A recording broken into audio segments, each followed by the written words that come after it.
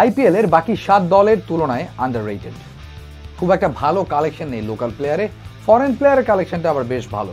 তারপরও তারা under rated শেষ সিজনে কোনো মতে টেনে টুনে শেষ চারে পৌঁছেছে, কারণ জর্জ বাটলার সাডেনলি খুব ভালো খেলা শুরু করেছিলেন।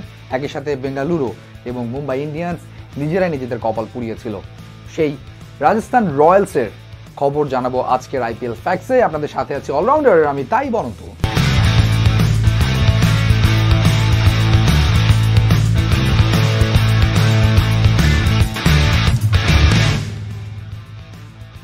ক্যাপ্টেন আজিঙ্কা রাহানের দল রাজস্থান রয়্যালস এবারে সিজনে কি করবে? সে খবর আপনারা জানতে পারছেন আইপিএল ফ্যাক্সে এবং this show is powered by loco news presentation academy. কারা কারা আছেন আজিকা রাহানের ছায়াতলে সেটা দেখে নেব এক ঝলকে। Stephen Smith is coming back Rajasthan রয়্যালসে তাকে দেখা যাবে এবার। আজিঙ্কা রাহানি সম্ভবত ক্যাপ্টেন্সি করবেন। আর শেষ মুহূর্তে যদি টিম ম্যানেজমেন্ট ডিসাইড করে যে স্টিভেন স্মিথকে ক্যাপ্টেন্সি দিবে সেটা হতে পারে। As a captain as a batsman খুব ভালো একজন প্লেয়ার খুব ভালো একজন নেতা এবং খুব ভালো ব্যাটিং করে দলকে ইন্সপায়ার করতে পারেন। সো তিনি থাকছেন ডেফিনেটলি তাদের ব্যাটিং লাইন আপের শীর্ষে। এছাড়া George Buttler wicket keeper batsman তিনি আছেন, আজিঙ্কা রানে আছেন সঞ্জু স্যামসাং আরও একজন উইকেট কিপার আছেন, প্রচুর উইকেট কিপার এই টিমে এছাড়া প্রশান্ত চোপড়া রাহুল ত্রিপাঠী আরিয়ামান বিড়লা এবং মানান ভোরা এই হচ্ছে ব্যাটিং লাইন আপে রাজস্থান রয়্যালসের। এবারের আইপিএলে সবচেয়ে বড় অলরাউন্ডার ডিপার্টমেন্ট রাজস্থান রয়্যালসের। একজন, দুইজন, তিনজন, চারজন, পাঁচজন, ছয়জন, সাতজন, আটজন, নয়জন, দশটা অলরাউন্ডার আছে রাজস্থানের এবং সবচেয়ে fantastic inclusion Ashton Turner from Australia Perth Scorcher western অস্ট্রেলিয়াকে দীর্ঘদিন ধরে সাপোর্ট দিয়ে যাচ্ছেন। ভেরি ইয়াং প্রসপেক্ট মাত্রই অস্ট্রেলিয়ান টিমে ঢুকেছেন এবং অস্ট্রেলিয়ান টিমে ঢুকেই ভারতের বিপক্ষে ওয়ানডেতে একটা অবিস্মরণীয় জয় এনে দিয়েছেন অস্ট্রেলিয়াকে। তিনশো আটান্ন চেস করে সেই ম্যাচ জিতেছে অস্ট্রেলিয়া এগেনস্ট ইন্ডিয়া। শুধু তাই না, সেই ম্যাচ জেতার পর সিরিজের লাস্ট ম্যাচ জিতে দুই শূন্যতে পিছিয়ে থেকে তিন দুই ব্যবধানে সেই সিরিজও ভারতকে হারিয়ে দিয়েছে অস্ট্রেলিয়া, যেটা একটা রেকর্ড এবং সেটার অন্যতম অংশীদার এই অ্যাস্টন টার্নার, তাকে দেখা যাবে এবার রাজস্থানের ড্যাগ আউটে তার সাথে থাকবেন Jofra Archer. Englishman Ben Stokes Shreyas Gopal Stuart Binny Gautam Shashank Singh Liam Livingstone এই ভদ্রলোককেও আনা হয়েছে ইংল্যান্ড থেকে। যিনি হুট করে আসলে টি টোয়েন্টি ফ্র্যাঞ্চাইজি লিগে ঢুকে পড়েছেন, মাত্রই পিএসএল খেলেছেন এবং তার পরপরই তার ইনক্লুশন হয়ে গেছে আইপিএলে রিয়ান পারাগ এবং রঞ্জানে, এই হলো রাজস্থান রয়্যালসের অলরাউন্ডার ডিপার্টমেন্ট রাজস্থান রয়্যালসের বোলিং ডিপার্টমেন্টটা খুব একটা ইমপ্রেসিভ না।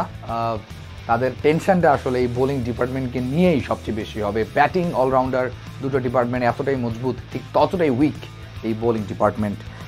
M Lomror as a spinner এই টিমে খেলছেন। তাছাড়া ইশ সৌধি ফ্রম নিউজিল্যান্ড তাকে দেখা যাবে রাজস্থান রয়্যালসের জার্সি পড়তে পেস অ্যাটাকটা কেমন হবে?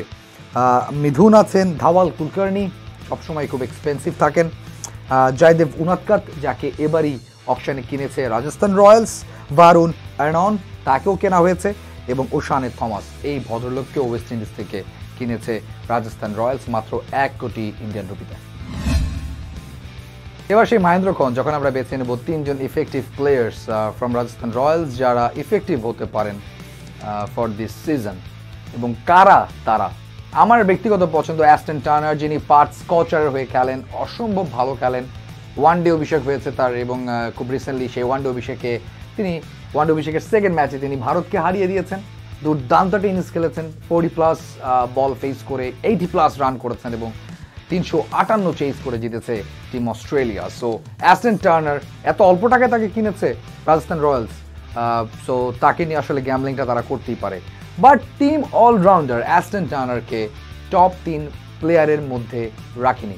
তারা রেখেছে জর্জ বাটলার বেন স্টোকস এবং স্টিভেন স্মিথ স্টিভেন স্মিথ তিনি ফাইনালি আইপিএলে ফিরছেন, এক বছরের নিষেধাজ্ঞা ছিল বল ট্যাম্পারিংয়ের সেখান থেকে তিনি বেরিয়ে মাঝখানে ক্যানাডাতে খেলেছেন টি টোয়েন্টি বাংলাদেশে বিপিএলে কুমিল্লার হয়ে কয়েকটি ম্যাচ খেলেছেন ক্যাপ্টেন্সি করেছেন, তারপরে ইঞ্জুরি নিয়ে দেশে ফিরে গেছেন এবং ফাইনালি আইপিএলের জন্য নিজেকে প্রস্তুত করেছেন। এরই মধ্যে তিনি প্র্যাকটিসও শুরু করেছেন তার ফ্র্যাঞ্চাইজির সাথে।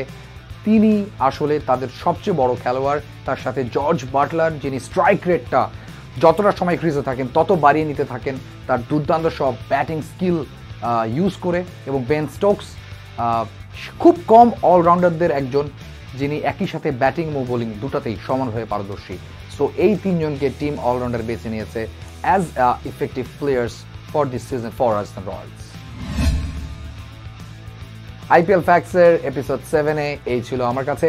আজকের মতো অলরাউন্ডার বিদায় নেবে। আর একটি পর্ব থাকছে আমাদের। সো অলরাউন্ডারের ফেসবুক পেজ এবং ইউটিউব চ্যানেল সাবস্ক্রাইব করতে হবে। কোনো ফাঁক ফোকর নাই, কথা ক্লিয়ার আমরা অলরাউন্ডার আজকের মতো তাই বনন্ত সাইন অফ করছে।